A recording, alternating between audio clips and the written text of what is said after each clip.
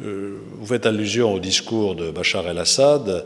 Je l'ai trouvé aux antipodes de ce que l'on pouvait attendre, c'est-à-dire que c'est à la fois un discours qui incite à la violence et à la confrontation entre les partis euh, en Syrie, qui continue à évoquer cette espèce de, prétendue euh, agression euh, terroriste extérieure contre la Syrie, qui n'a pas de consistance en réalité, qui est donc une sorte de, déni de, réalité. Il faut que ce régime se conforme à l'engagement qu'il a pris vis-à-vis de la Ligue arabe, et je rappelle les quatre points fondamentaux de cet engagement.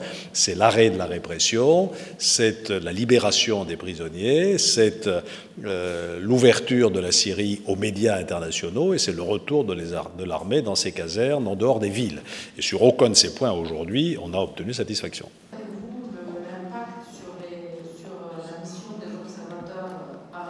Mon gouvernement euh, a contribué à euh, une définition et, à une augmentation du régime de sanctions à niveau européen.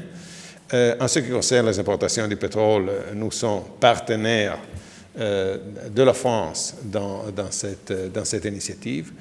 Euh, il y a bien, évidemment, il y a des, coûts que mon pays euh, a depuis quelques années soutenus pour la pression et pour un certain changement de rapports commerciaux entre l'Iran et ses partenaires principaux. Donc il y a volume euh, d'échange qui est en diminution, donc ça c'est un problème, mais quand même nous, sommes là pour donner à la sécurité la, priorité la priorité plus élevée. Donc euh, nous voyons de façon favorable aussi euh, l'adoption d'une mesure qui, soit, qui puisse être graduelle, graduelle mais pas dans, l'infini, une gradualité de, de quelques mois, pour, arriver à un régime euh, de, de sanctions sur, euh, sur, sur, le pétrole, sur le pétrole iranien.